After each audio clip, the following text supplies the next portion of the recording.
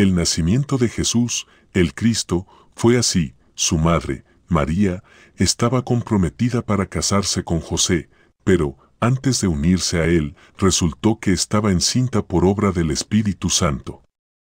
Mateo 1.18 Pero, cuando él estaba considerando hacerlo, se le apareció en sueños un ángel del Señor y le dijo, José, hijo de David, no temas recibir a María por esposa, porque ella ha concebido por obra del Espíritu Santo. Mateo 1:20 Dará a luz un hijo, y le pondrás por nombre Jesús, porque él salvará a su pueblo de sus pecados. Mateo 1:21 todo esto sucedió para que se cumpliera lo que el Señor había dicho por medio del profeta, la Virgen concebirá y dará a luz un hijo, y lo llamarán Emanuel, que significa Dios con nosotros. Mateo 1, 22-23 Después de que Jesús nació en Belén de Judea en tiempos del rey Herodes, llegaron a Jerusalén unos sabios procedentes del oriente. ¿Dónde está el que ha nacido rey de los judíos?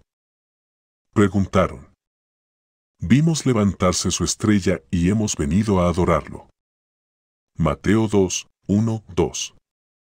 Arrepiéntanse, porque el reino de los cielos está cerca. Mateo 3, 2. La ropa de Juan estaba hecha de pelo de camello. Llevaba puesto un cinturón de cuero y se alimentaba de langostas y miel silvestre. Mateo 3, 4 produzcan frutos que demuestren arrepentimiento. Mateo 3:8 Jesús le respondió, escrito está, no solo de pan vive el hombre, sino de toda palabra que sale de la boca de Dios.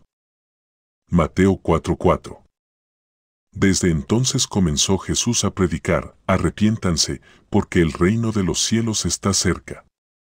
Mateo 4:17 Vengan, síganme, les dijo Jesús, y los haré pescadores de hombres.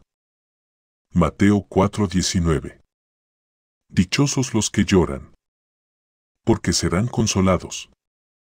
Mateo 5:4 Dichosos los que tienen hambre y sed de justicia, porque serán saciados. Mateo 5:6 Dichosos los de corazón limpio, porque ellos verán a Dios. Mateo 5:8 Dichosos los que trabajan por la paz, porque serán llamados hijos de Dios. Mateo 5:9 Dichosos los perseguidos por causa de la justicia, porque el reino de los cielos les pertenece. Mateo 5:10 Dichosos serán ustedes cuando por mi causa la gente los insulte, los persiga y levante contra ustedes toda clase de calumnias. Mateo 5:11 Ustedes son la sal de la tierra. Pero, si la sal se vuelve insípida, ¿cómo recobrará su sabor? Ya no sirve para nada, sino para que la gente la deseche y la pisotee. Mateo 5:13 Ustedes son la luz del mundo. Una ciudad en lo alto de una colina no puede esconderse. Mateo 5:14 ni se enciende una lámpara para cubrirla con un cajón. Por el contrario, se pone en la repisa para que alumbre a todos los que están en la casa. Hagan brillar su luz delante de todos, para que ellos puedan ver las buenas obras de ustedes y alaben al Padre que está en el cielo. Mateo 5, 15-16 No piensen que he venido a anular la ley o los profetas, no he venido a anularlos, sino a darles cumplimiento. Mateo 5:17 Les aseguro que mientras existan el cielo y la tierra, ni una letra ni una tilde de la ley desaparecerán hasta que todo se haya cumplido. Mateo 5:18 Todo el que infrinja uno solo de estos mandamientos, por pequeño que sea, y enseñe a otros a hacer lo mismo, será considerado el más pequeño en el reino de los cielos pero el que los practique y enseñe será considerado grande en el reino de los cielos. Mateo 5:19 Ustedes han oído que se dijo, no cometas adulterio.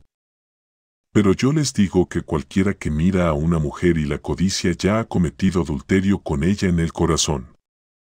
Mateo 5, 27-28. Por tanto, si tu ojo derecho te hace pecar, sácatelo y tíralo. Más te vale perder una sola parte de tu cuerpo, y no que todo él sea arrojado al infierno. Mateo 5:29.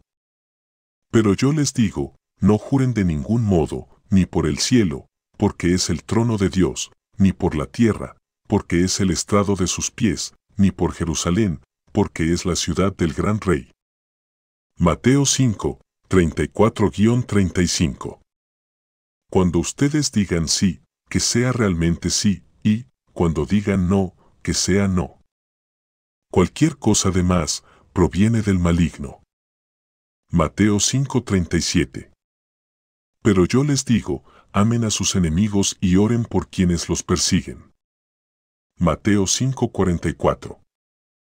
Por tanto, sean perfectos, así como su Padre Celestial es perfecto.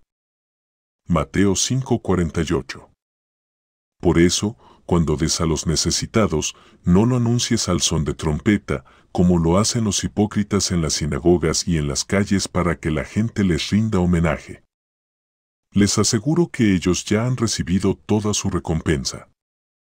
Mateo 6:2 Más bien, cuando des a los necesitados, que no se entere tu mano izquierda de lo que hace la derecha, para que tu limosna sea en secreto. Así tu Padre, que ve lo que se hace en secreto, te recompensará. Mateo 6, 3-4 Pero tú, cuando te pongas a orar, entra en tu cuarto, cierra la puerta y ora a tu Padre, que está en lo secreto. Así tu Padre, que ve lo que se hace en secreto, te recompensará. Mateo 6:6 Y al orar, no hablen solo por hablar como hacen los gentiles, porque ellos se imaginan que serán escuchados por sus muchas palabras. Mateo 6:7 Ustedes deben orar así. Padre nuestro que estás en el cielo. Santificado sea tu nombre. Venga tu reino. Hágase tu voluntad. En la tierra como en el cielo. Mateo 6, 9-10. Danos hoy nuestro pan cotidiano. Mateo 6:11. Perdónanos nuestras deudas. Como también nosotros hemos perdonado a nuestros deudores. Mateo 6:12. Y no nos dejes caer en tentación, sino líbranos del maligno. Mateo 6:13. Porque, si perdonan a otros sus ofensas, también los perdonará a ustedes su Padre Celestial. Mateo 6:14. Pero, si no perdonan a otros sus ofensas, tampoco su Padre les perdonará a ustedes las suyas. Mateo 6:15 cuando ayunen, no pongan cara triste como hacen los hipócritas, que demudan sus rostros para mostrar que están ayunando. Les aseguro que estos ya han obtenido toda su recompensa. Mateo 6:16 Pero tú, cuando ayunes, perfúmate la cabeza y lávate la cara para que no sea evidente ante los demás que estás ayunando, sino solo ante tu Padre, que está en lo secreto, y tu Padre, que ve lo que se hace en secreto, recompensará. Mateo 6, 17-18 No acumulen para sí tesoros en la tierra, donde la polilla y el óxido destruyen y donde los ladrones se meten a robar. Más bien, acumulen para sí tesoros en el cielo, donde ni la polilla ni el óxido carcomen, ni los ladrones se meten a robar. Mateo 6, 19-20 Porque donde esté tu tesoro, allí estará también tu corazón. Mateo 6:21 Nadie puede servir a dos señores, pues menospreciará a uno y amará al otro, o querrá mucho a uno y despreciará al otro. No se puede servir a la vez a Dios y a las riquezas. Mateo 6:24 Por eso les digo, no se preocupen por su vida, que comerán o beberán, ni por su cuerpo, cómo se vestirán. ¿No tiene la vida más valor que la comida y el cuerpo más que la ropa? Mateo 6:25 Fíjense en las aves del cielo, no siembran ni cosechan ni almacenan en graneros. Sin embargo, el Padre Celestial las alimenta. ¿No valen ustedes mucho más que ellas? Mateo 6:26 Más bien, busquen primeramente el reino de Dios y su justicia, y todas estas cosas les serán añadidas. Mateo 6:33 Por lo tanto, no se angustien por el mañana, el cual tendrá sus propios afanes. Cada día tiene ya sus problemas. Mateo 6:34 No juzguen a nadie, para que nadie los juzgue a ustedes. Mateo 7:1 ¿Por qué te fijas en la astilla que tiene tu hermano en el ojo, y no le das importancia a la viga que está en el tuyo?